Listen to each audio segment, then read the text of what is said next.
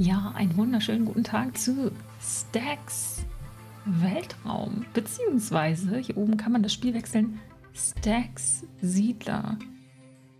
Ich muss zugeben, ich bin äh, sehr überrascht gewesen, als ich das gesehen habe. Erstens, dass man hier wechseln kann.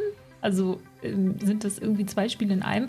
Zweitens, wer es nicht kennt, das Ganze ist inspiriert von, beziehungsweise tatsächlich mit Erlaubnis der Entwickler, wenn ich das richtig gesehen habe, nachgemacht von Stacklands. Ähm, das solltet ihr euch unbedingt angucken, wenn ihr diese Art von Karten-Sortierspielen mögt. Ich würde sagen, wir starten einfach mal tägliche Challenge, Mods verwalten, Credits, Cartopedia. Ich starte einfach mal. Ich weiß nicht genau, was mich erwartet. Ich weiß, dass ich Stacklands gesuchtet und geliebt habe. Und wir fangen einfach mal an. Was können wir denn spielen? Allein im Weltall. Friedlicher Start, geflüchtete Androide. Aha, aha. Drohnen und eine Menge Geld. Kampfstation Rogue.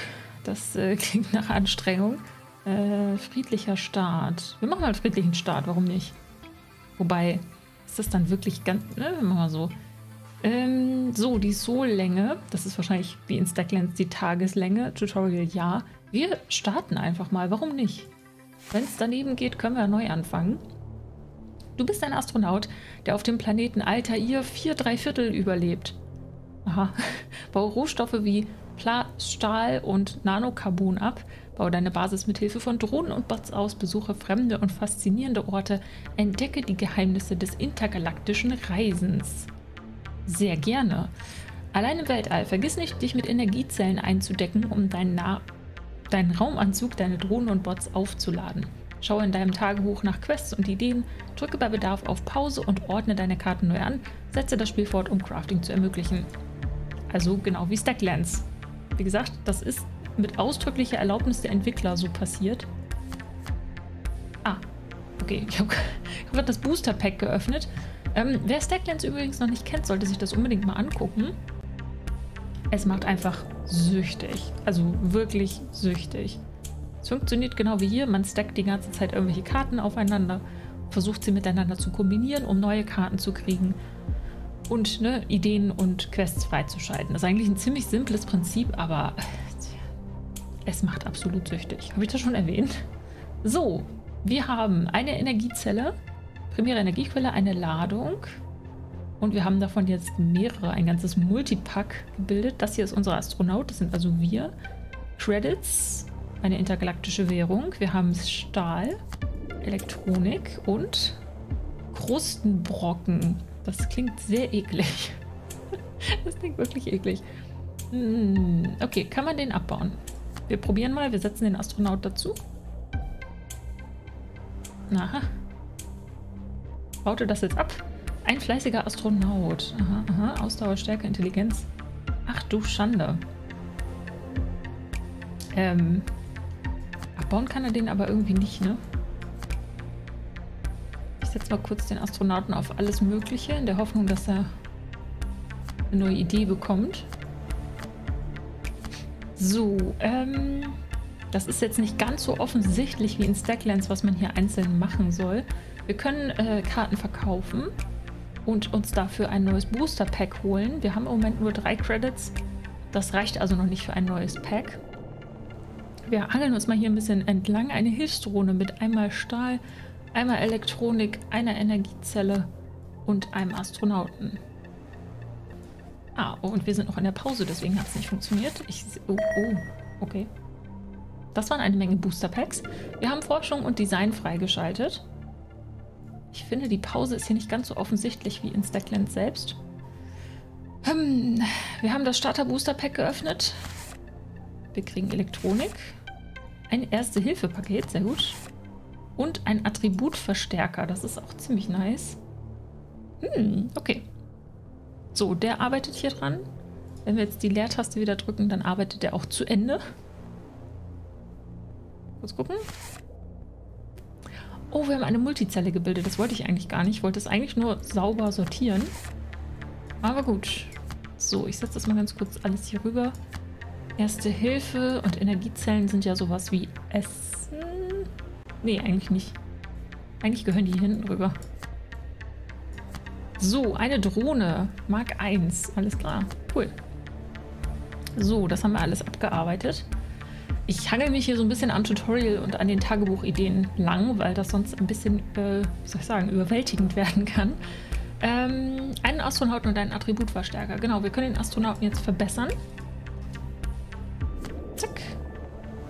Und er hat jetzt irgendwas verbessert. Ich habe aber nicht so genau drauf geachtet. Baue einen Blaster, um dich zu verteidigen. Einmal Stahl und eine Energiezelle. Huch. Das machen wir doch glatt. Cool, dann haben wir den Blaster. Kriegt natürlich der Astronaut. Es könnte sein, dass der sich gleich in eine andere Art von Astronaut verwandelt. So wie in Stacklands, ne? wenn man denen ein Schwert in die Hand gegeben hat, wurden sie halt zum Schwertkämpfer ähm, und so weiter. Je nachdem, welche Waffe sie bekommen haben. Mal gucken. Ein Astronaut mit Blaster. Juhu. Bewaffneter Astronaut. Fühlst du dich schon sicherer? Ein bisschen. Ich mag das übrigens, dass die Drohne sich selbst bewegt. So ein bisschen wie die Hasen aus Stacklands, die immer so rumgeploppt sind. Gut. Jetzt können wir die Kruste abbauen, sehe ich gerade. Oh, wir haben... Wow, okay. Oh, ich verstehe. Ich wollte gerade sagen, warum kriegen wir ständig Karten? Wir sind im Weltall. Das ist quasi, als würden Asteroiden auf dem Ding hier einschlagen. Und wir kriegen ab und zu mal neue Karten, weil Dinge auf unserem Planeten gelandet sind. Finde ich sehr nice. So, ganz kurz. Da stand doch Drohne auf das Krustendings. Ah, okay. Das kann sie auch abbauen. Was haben wir denn da? Regulit. Fossiler Regulit, die Hauptquelle für Nanocarbon, kann Spuren von, ich habe keine Ahnung, Helium oder so, drei enthalten. Und ein Erzvorkommen, da können wir sicherlich nochmal abbauen. Ich frage mich gerade nur, ob wir ähm, Nahrung für den Soldaten, für den Soldaten, für den Astronauten brauchen. Ich äh, könnte es mir irgendwie vorstellen. So, die Drohne baut ab, er baut ab. Sehr schön. Hier ist noch mehr Regolith. Bisschen Biomasse haben wir noch. Die können wir bestimmt auch zusammenstecken. Ich habe nur Angst, dass sie irgendwann zu irgendwas Neuem werden. Genauso wie vorhin mit dieser Multizelle, die ich eigentlich gar nicht bauen wollte. Aber so ist es nun mal passiert. Gut. Neues Boosterpack. Wow, okay, okay, okay. Nanocarbon, yay! Sehr gut. Das kann die Drohne auch abbauen. Hier ist noch mehr Regolith. Und ein bisschen Helium. Sehr schön. Dann lasse ich die noch mal ein bisschen weiterarbeiten. Wir haben, ich gucke ganz kurz, wir haben noch Energie, wir haben Credits. Wir haben noch nicht das Kartenlimit erreicht. Das ist, glaube ich, ähnlich wie in Stacklands, ähm, dass man zum Ende des äh, Tages das Kartenlimit nicht überschreiten darf. Sonst muss man wahrscheinlich welche abdrücken. Das ist nicht so cool. So. Juhu. Stahl und Stahl. Oh, die holen aber ordentlich was raus. Nicht schlecht. Cool, cool, cool. Ich merke schon, das hat wirklich exakt die Stacklands-Vibes. Sehr schön. Oh, jetzt haben wir das äh, Kartenlimit erreicht. Wir bauen uns mal schnell eine Kiste mit äh, Stahl, Carbon und einem Astronaut oder einer Drohne. Ich mag das, dass die Drohne unsere Sachen auch bauen kann. Sehr cool, aber ich weiß nicht, ob sie das so schnell fertig kriegt. Nein! Mist. Ende des Sol 1. Äh, Zeit zum Aufladen, Raumanzüge, Drohnen und Roboter aufladen. Aha, die Multizelle ist also das, was sonst die Nahrung ist. Alles klar. Und wir müssen eine Karte verkaufen. Äh, ja, was verkaufen wir denn mal? Hier einmal Plastal.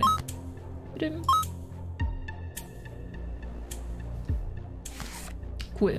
Das ist okay. Also, ne, wenn man am Anfang zu viele Karten hat, doof, aber es äh, gibt Schlimmeres. So, können die auch Biomasse abbauen? Fester Brocken eines biologischen Materials. Könnte sein, dass das einfach nur ein, ähm, ein Rohstoff ist. Könnte auch sein, dass sie das noch abbauen können. Nicht. So. Wir kriegen so viele Booster Packs. Ich habe noch nicht eins gekauft. Was zum Teufel? Ich glaube, wir kriegen die immer als Belohnung für, ne, wenn wir die Quests gemacht haben. Eine Lagerkiste. Yay. Und wir können plötzlich 26 Karten haben. Ich glaube, ich mache direkt noch eine. Aber wir haben kein Carbon. Das ist nicht so gut. Müssen wir erstmal warten. So, der Astronaut ist noch ein bisschen besser geworden vorhin. Ähm, Was machen wir denn mal? Wir können ein bisschen Stahl verkaufen. So, jetzt haben wir elf. Davon könnten wir uns Let's Mine holen. Oder Forschung und Essen. Äh, Forschung. Wunschdenken. Forschung und Design. ich habe keine Ahnung, warum ich da Essen gelesen habe. So, eine Energiezelle ist mit Stahl und Helium. Die können hier drüben bleiben. Das baut gerade noch ab. Ich würde sagen, wir machen einmal Let's Mine. Da können wir nämlich ein bisschen... Oh, wow, okay. Helium. Krustenbrocken. Ich finde immer noch, das klingt super eklig. Und weiter geht's. Wir brauchen dringend noch eine neue Kiste, würde ich sagen. Ähm, die Karten... Wo haben wir die denn? Die müssten eigentlich schon alle hier sein, die wir schon einmal äh, bekommen haben. Aber das sind eigentlich mehr, als wir schon hatten, ne? Warte kurz, das sind die Ideen, das sind die Karten, theoretisch alle Karten. Wir haben 32 gefunden. Ne, das sind sie schon alle. Lagerkiste. Können wir die jetzt nicht nochmal anklicken? Bei Stacklands konnte ich mir immer noch mal zeigen lassen, woraus ich die craften muss. Das weiß ich jetzt natürlich nicht mehr, habe ich mir ja nicht gemerkt. Äh, vielleicht steht das hier irgendwo. Da ist die Lagerkiste. Tatsache. Nanocarbon. Okay, darauf müssen wir warten. Das ist okay. Ui, das geht schnell. So, reguliert da unten. Das bleibt hier oben. Das Erzvorkommen auch. Das müssen wir noch abbauen. Energiezellen sind, glaube ich, vier, bilden eine Multizelle. Spart natürlich ein bisschen Karten ein.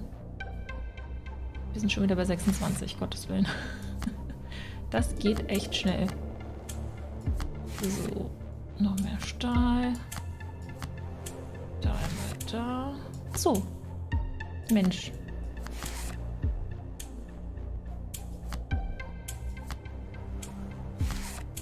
Mhm, mhm, mhm.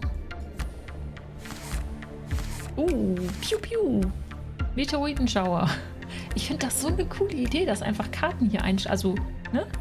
Dass die einfach so einschlagen und dann Dinge hier bleiben. So ein bisschen wie in, ähm, wie heißt es nochmal? Äh, Planet Crafter. Sehr gut, gefällt mir. So, das beides muss, glaube ich, verarbeitet werden. Das muss abgesammelt werden, abgesammelt werden. Das hier unten sind alles Materialien. Ach nee, das können wir auch. Oh Gott, das können wir auch noch absammeln. Habe ich mir den leichten Start gemacht? Nee, ne? Das kommt mir gerade so vor. Äh, so, das kann alles mal dahin.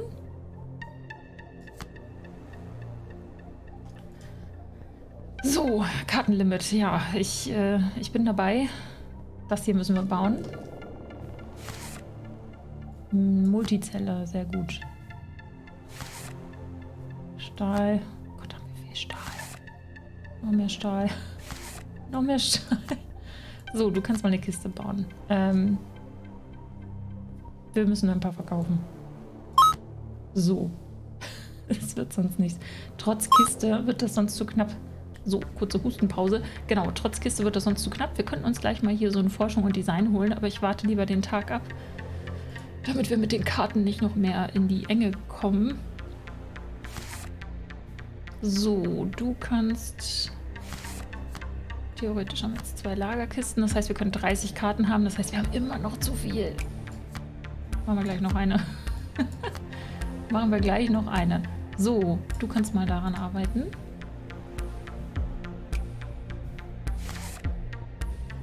Auch in der Lagerkiste. Man merkt schon langsam wird das Ganze ein bisschen äh, größer, ne, weil je mehr Platz wir potenziell haben, desto mehr verschiedene Karten erarbeiten wir uns wahrscheinlich auch. Zeit zum Aufladen.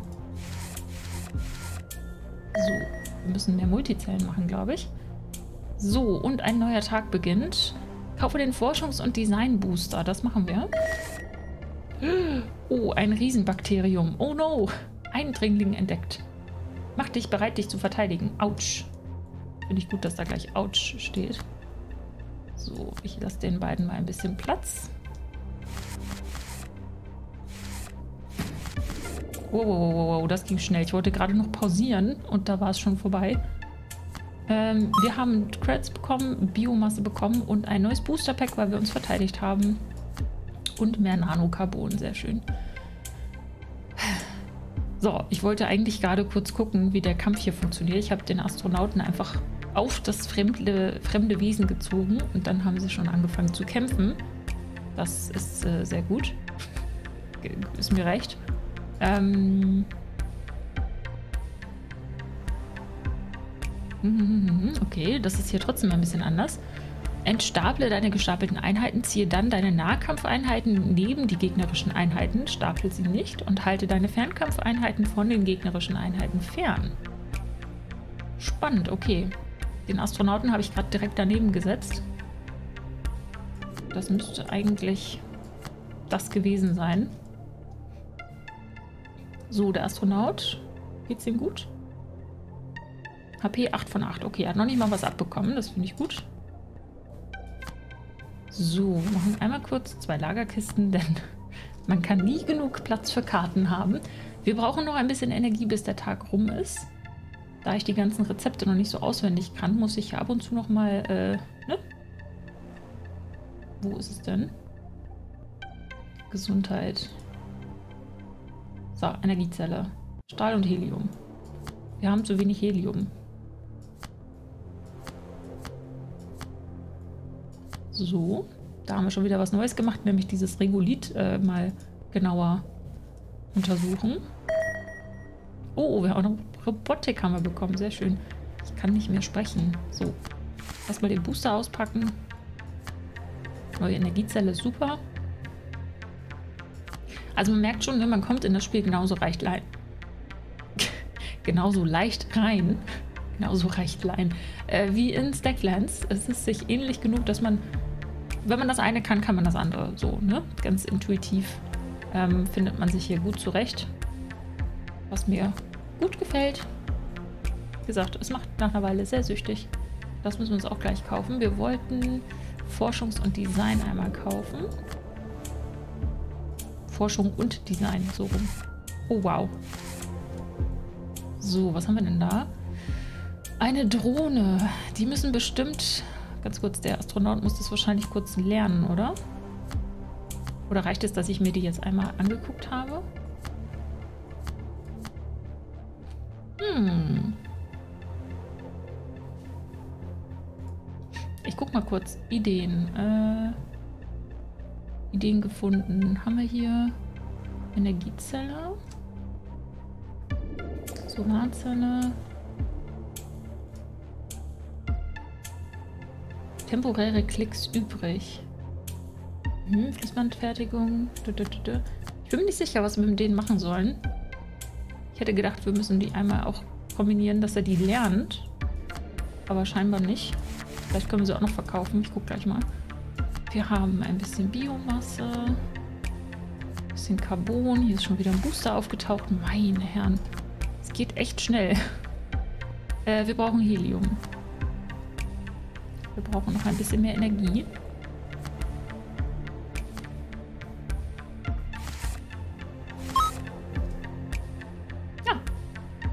Okay, warum auch immer das Spiel mir selber ähm, die Ideen verkauft. Vielleicht tun sie das einfach nach einer Weile automatisch, damit man keine überflüssigen Karten hat. Ich habe das jetzt so verstanden, dass wir die Ideen einfach wissen, sobald sie da liegen.